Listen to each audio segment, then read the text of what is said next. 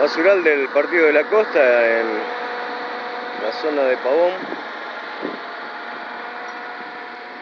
Esto es lo que no se ve en las zonas turísticas.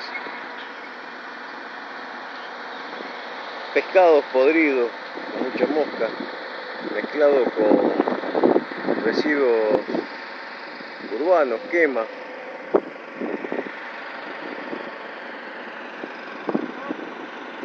Esto es el basural del Partido de la Costa operado por Covelia.